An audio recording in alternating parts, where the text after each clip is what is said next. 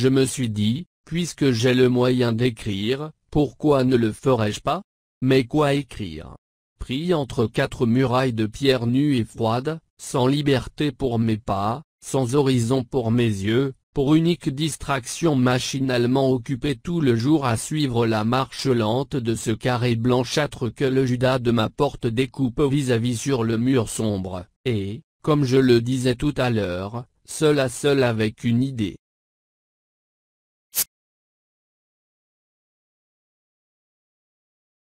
Une idée de crime et de châtiment, de meurtre et de mort.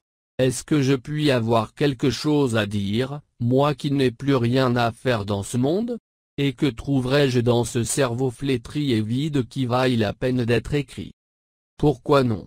Si tout, autour de moi, est monotone et décoloré, n'y a-t-il pas en moi une tempête, une lutte, une tragédie?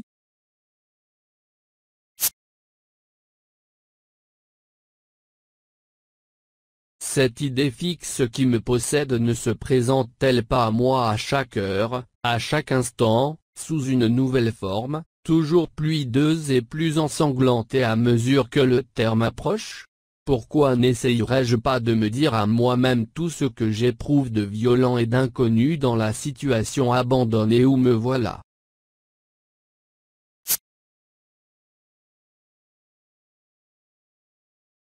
Certes, la matière est riche. Et, si abrégée que soit ma vie, il y aura bien encore dans les angoisses, dans les terreurs, dans les tortures qui la rempliront, de cette heure à la dernière, de quoi user cette plume et tarir cet encrier, d'ailleurs ces angoisses, le seul moyen d'en moins souffrir, c'est de les observer, et les peindre m'en distraira.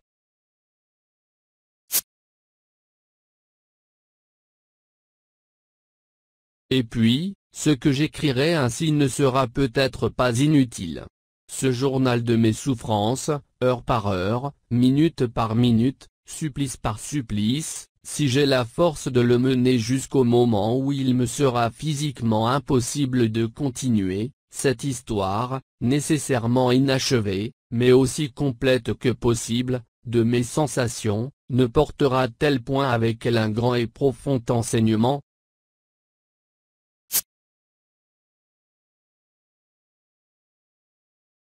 N'y aurait-il pas dans ce procès-verbal de la pensée agonisante, dans cette progression toujours croissante de douleur, dans cette espèce d'autopsie intellectuelle d'un condamné, plus d'une leçon pour ceux qui condamnent? Peut-être cette lecture leur rendra-t-elle la main moins légère, quand il s'agira quelque autre fois de jeter une tête qui pense, une tête d'homme, dans ce qu'ils appellent la balance de la justice?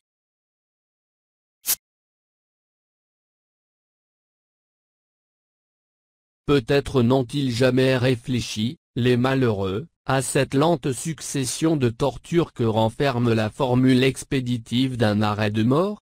Se sont-ils jamais seulement arrêtés à cette idée poignante que dans l'homme qu'ils retranchent il y a une intelligence, une intelligence qui avait compté sur la vie, une âme qui ne s'est point disposée pour la mort?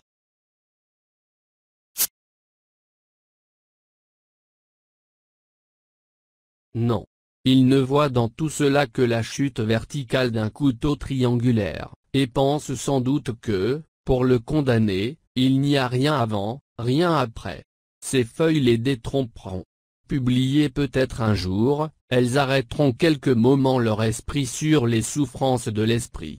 Car ce sont celles-là qu'ils ne soupçonnent pas. Ils sont triomphants de pouvoir tuer sans presque faire souffrir le corps.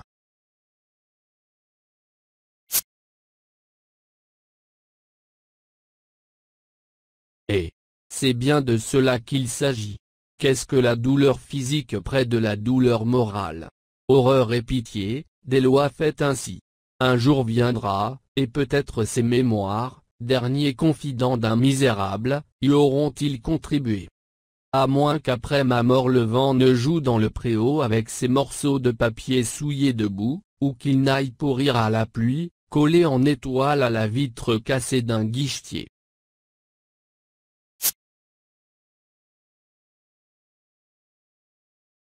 Que ce que j'écris ici puisse être un jour utile à d'autres, que cela arrête le juge prêt à juger, que cela sauve des malheureux, innocents ou coupables, de l'agonie à laquelle je suis condamné, pourquoi? À quoi bon? Qu'importe. Quand ma tête aura été coupée, qu'est-ce que cela me fait qu'on en coupe d'autres?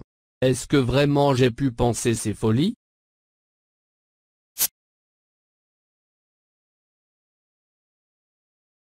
Jetez bas l'échafaud après que j'y aurai monté. Je vous demande un peu ce qui m'en reviendra. Quoi? Le soleil, le printemps, les champs pleins de fleurs, les oiseaux qui s'éveillent le matin, les nuages, les arbres, la nature, la liberté, la vie, tout cela n'est plus à moi. Ah C'est moi qu'il faudrait sauver.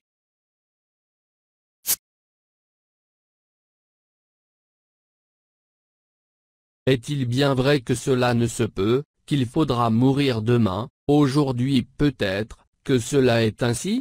Ô Dieu L'horrible idée à se briser la tête au mur de son cachot. Comptons ce qui me reste. Trois jours de délai après l'arrêt prononcé pour le pourvoi en cassation. Huit jours d'oubli au parquet de la cour d'assises, après quoi les pièces, comme ils disent, sont envoyées au ministre.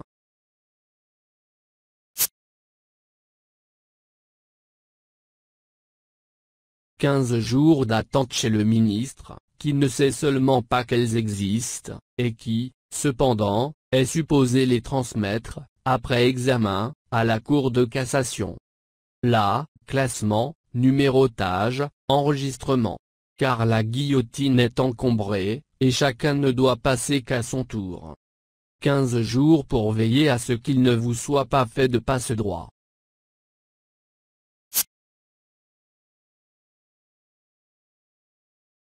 Enfin la cour s'assemble, d'ordinaire un jeudi, rejette 20 pourvois en masse, et renvoie le tout au ministre, qui renvoie au procureur général, qui renvoie au bourreau. Trois jours. Le matin du quatrième jour, le substitut du procureur général se dit, en mettant sa cravate, il faut pourtant que cette affaire finisse.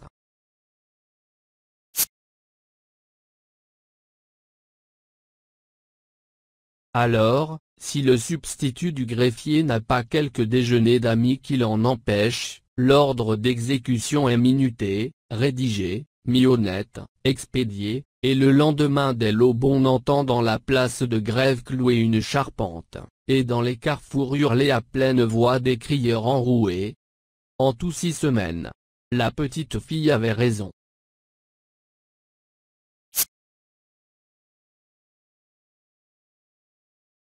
Or, voilà cinq semaines au moins, six peut-être, je n'ose compter, que je suis dans ce cabanon de Bicêtre, et il me semble qu'il y a trois jours, c'était jeudi.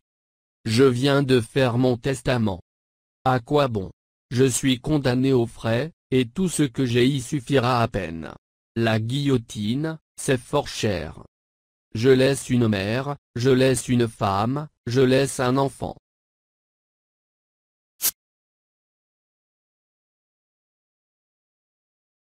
Une petite fille de trois ans, douce, rose, frêle, avec de grands yeux noirs et de longs cheveux châtains. Elle avait deux ans et un mois quand je l'ai vue pour la dernière fois. Ainsi, après ma mort, trois femmes sans fils, sans mari, sans père. Trois orphelines de différentes espèces. Trois veuves du fait de la loi.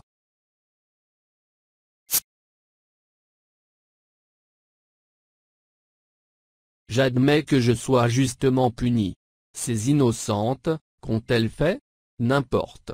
On les déshonore, on les ruine. C'est la justice. Ce n'est pas que ma pauvre vieille mère m'inquiète. Elle a 64 ans, elle mourra du coup. Ou si elle va quelques jours encore, pourvu que jusqu'au dernier moment elle ait un peu de cendre chaude dans sa chaufferette, elle ne dira rien.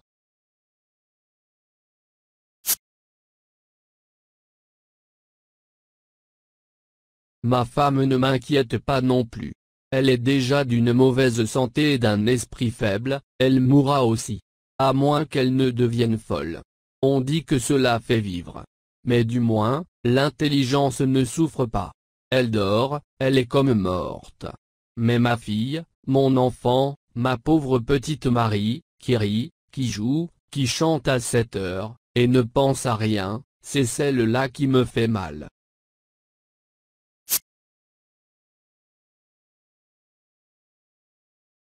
Voici ce que c'est que mon cachot. Huit pieds carrés. Quatre murailles de pierre de taille qui s'appuient à angle droit sur un pavé de dalle exaucé d'un degré au-dessus du corridor extérieur. À droite de la porte, en entrant, une espèce d'enfoncement qui fait la dérision d'une alcôve. On y jette une botte de paille où le prisonnier est censé reposer et dormir, vêtu d'un pantalon de toile et d'une veste de coutil, hiver comme été.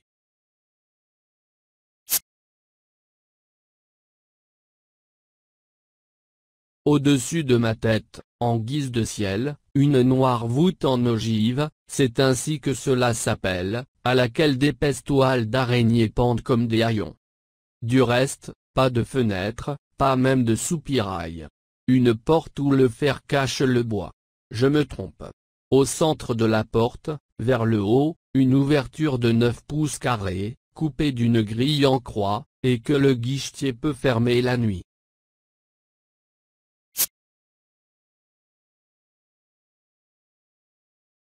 Au dehors, un assez long corridor, éclairé, aéré au moyen de soupiraux étroits au haut du mur, est divisé en compartiments de maçonnerie qui communiquent entre eux par une série de portes cintrées et basses.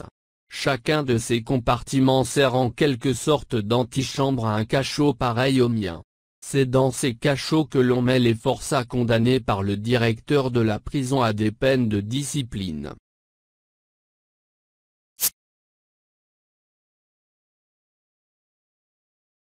Les trois premiers cabanons sont réservés aux condamnés à mort, parce qu'étant plus voisins de la geôle, ils sont plus commodes pour le geôlier.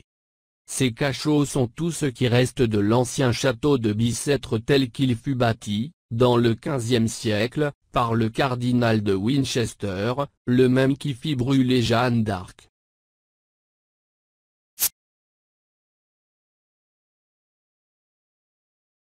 J'ai entendu dire cela à des curieux qui sont venus me voir l'autre jour dans ma loge, et qui me regardaient à distance comme une bête de la ménagerie. Le guichetier a eu cent sous. J'oubliais de dire qu'il y a nuit et jour un factionnaire de garde à la porte de mon cachot, et que mes yeux ne peuvent se lever vers la lucarne carrée sans rencontrer ces deux yeux fixes toujours ouverts.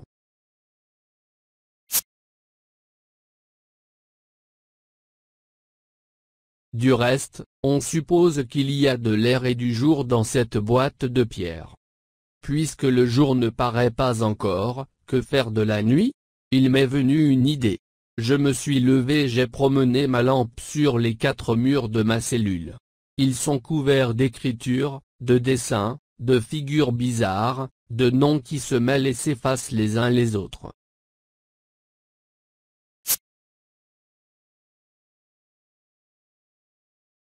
Il semble que chaque condamné ait voulu laisser trace, ici du moins. C'est du crayon, de la craie, du charbon, des lettres noires, blanches, grises, souvent de profondes entailles dans la pierre, ça et là des caractères rouilles qu'on dirait écrits avec du sang. Certes, si j'avais l'esprit plus libre, je prendrais intérêt à ce livre étrange qui se développe page à page à mes yeux sur chaque pierre de ce cachot.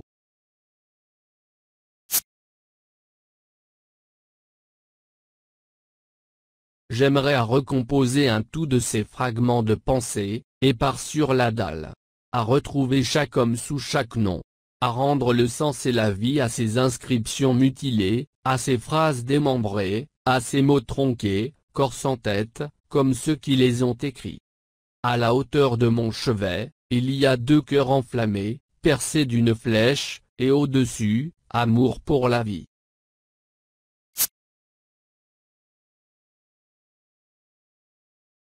Le malheureux ne prenait pas un long engagement. À côté, une espèce de chapeau à trois cornes avec une petite figure grossièrement dessinée au-dessus, et ces mots, Vive l'empereur. Encore des cœurs enflammés, avec cette inscription, caractéristique dans une prison, J'aime et j'adore Mathieu Danvin. Jacques.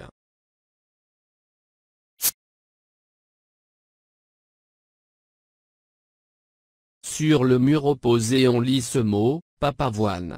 Le P majuscule est brodé d'arabesques et enjolivé avec soin. Un couplet d'une chanson obscène. Un bonnet de liberté sculpté assez profondément dans la pierre, avec ceci dessous, Bory, la République. C'était un des quatre sous-officiers de La Rochelle.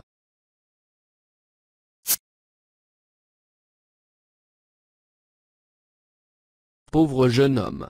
Que leurs prétendues nécessités politiques sont hideuses. Pour une idée, pour une rêverie, pour une abstraction, cette horrible réalité qu'on appelle la guillotine. Et moi qui me plaignais, moi, misérable qui ai commis un véritable crime, qui ai versé du sang.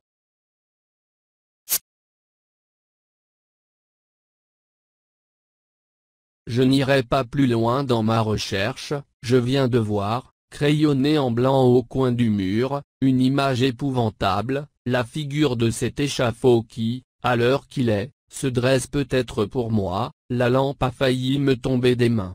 Je suis revenu m'asseoir précipitamment sur ma paille, la tête dans les genoux. Puis mon effroi d'enfant s'est dissipé, et une étrange curiosité m'a repris de continuer la lecture de mon mur.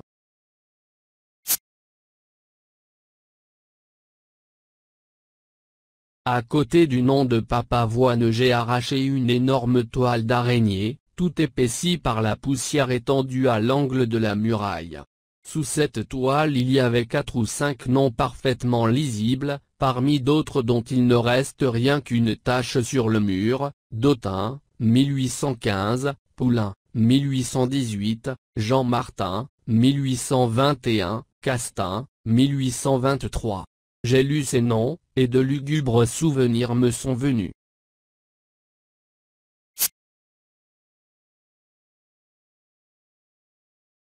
Dautin, celui qui a coupé son frère en quartier, et qui allait la nuit dans Paris jetant la tête dans une fontaine, et le tronc dans un égout. Poulain, celui qui a assassiné sa femme. Jean Martin, celui qui a tiré un coup de pistolet à son père au moment où le vieillard ouvrait une fenêtre.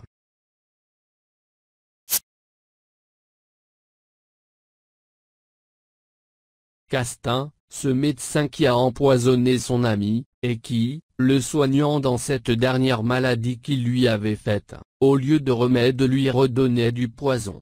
Et auprès de cela, Papavoine, L'horrible fou qui tuait les enfants à coups de couteau sur la tête. Voilà, me disais-je, et un frisson de fièvre me montait dans les reins, voilà quels ont été avant moi les hôtes de cette cellule.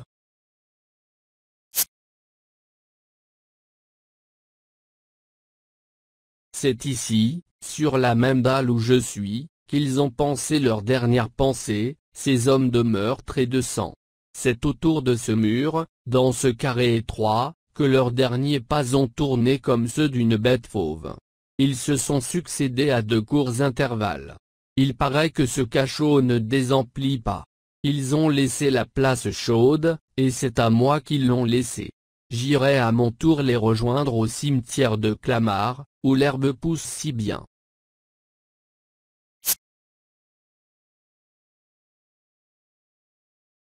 Je ne suis ni visionnaire, ni superstitieux, il est probable que ces idées me donnaient un accès de fièvre.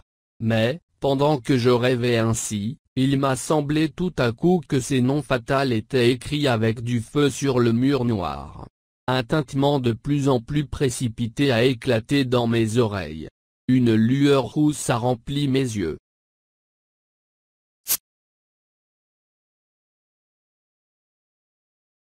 Et puis il m'a paru que le cachot était plein d'hommes, d'hommes étranges qui portaient leur tête dans leur main gauche, et la portaient par la bouche, parce qu'il n'y avait pas de chevelure. Tous me montraient le poing, excepté le parricide. J'ai fermé les yeux avec horreur, alors j'ai tout vu plus distinctement.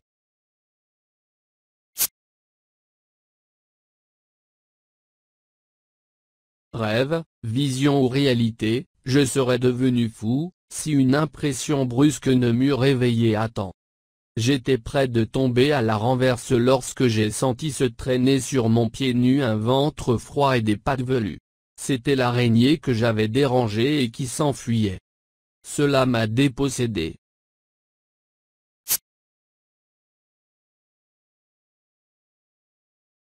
Oh les épouvantables spectres Non, c'était une fumée, une imagination de mon cerveau vide et convulsif. Les morts sont morts, ceux-là surtout. Ils sont bien cadenassés dans le sépulcre. Ce n'est pas là une prison dont on s'évade. Comment se fait-il donc que j'ai eu peur ainsi? La porte du tombeau ne s'ouvre pas en dedans.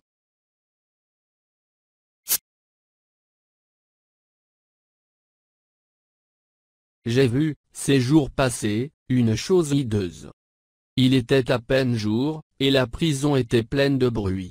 On entendait ouvrir et fermer les lourdes portes, grincer les verrous et les cadenas de fer, carillonner les trousseaux de clés entrechoqués à la ceinture des geôliers, trembler les escaliers du haut en bas sous des pas précipités, et des voix s'appeler et se répondre des deux bouts des longs corridors.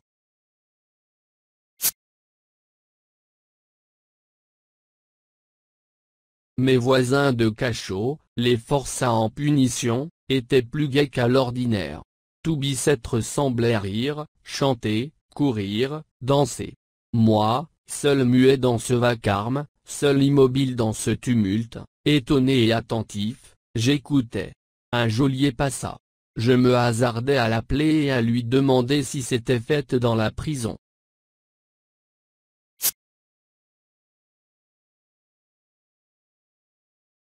Faites si l'on veut. Me répondit-il. C'est aujourd'hui qu'on fait les forçats qui doivent partir demain pour Toulon. Voulez-vous voir? Cela vous amusera. C'était en effet, pour un reclus solitaire, une bonne fortune qu'un spectacle, si odieux qu'il fût. J'acceptais l'amusement.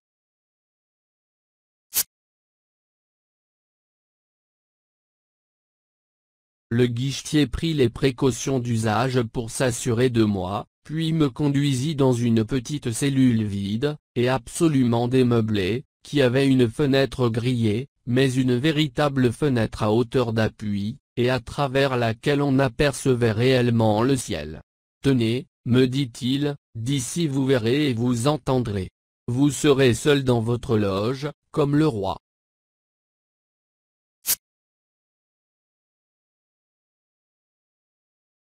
Puis il sortit et referma sur moi serrure, cadenas et verrou. La fenêtre donnait sur une cour carrée assez vaste, et autour de laquelle s'élevait des quatre côtés, comme une muraille, un grand bâtiment de pierre de taille à six étages. Rien de plus dégradé, de plus nu, de plus misérable à l'œil que cette quadruple façade percée d'une multitude de fenêtres grillées auxquelles se tenaient collées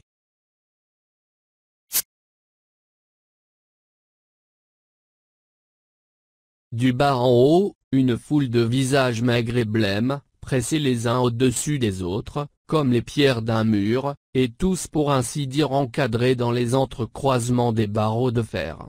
C'étaient les prisonniers, spectateurs de la cérémonie en attendant leur jour d'être acteurs. On eût dit des âmes en peine aux soupiraux du purgatoire qui donnent sur l'enfer.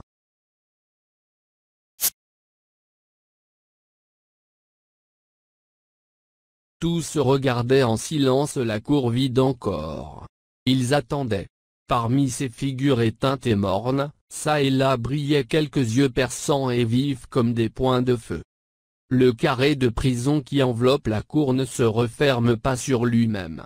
Un des quatre pans de l'édifice, celui qui regarde le levant, est coupé vers son milieu, et ne se rattache au pan voisin que par une grille de fer.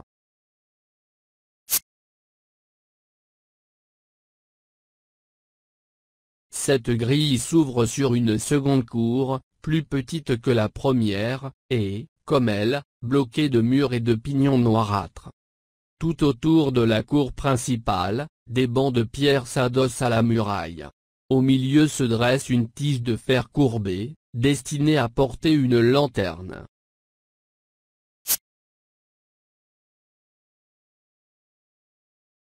Midi sonna. Une grande porte cochère, cachée sous un enfoncement, s'ouvrit brusquement. Une charrette, escortée d'espèces de soldats sales et honteux, en uniforme bleu, à épaulettes rouges et à bandoulière jaune, entra lourdement dans la cour avec un bruit de ferraille. C'était la chiourme et les chaînes.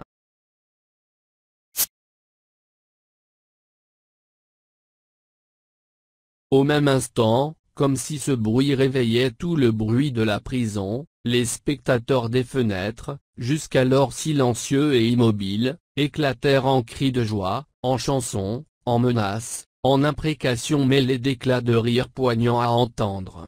On eût cru voir des masques de démons.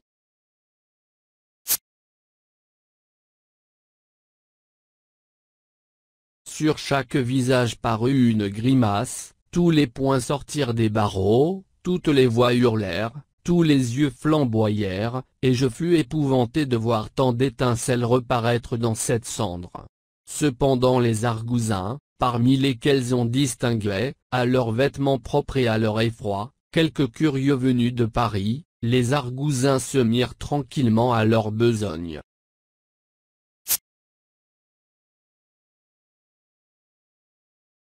L'un d'eux monta sur la charrette, et jeta à ses camarades les chaînes, les colliers de voyage, et les liasses de pantalons de toile. Alors ils se dépsèrent le travail. Les uns allèrent étendre dans un coin de la cour les longues chaînes qu'ils nommaient dans leur argot les ficelles. Les autres déployèrent sur le pavé les taffetas, les chemises et les pantalons.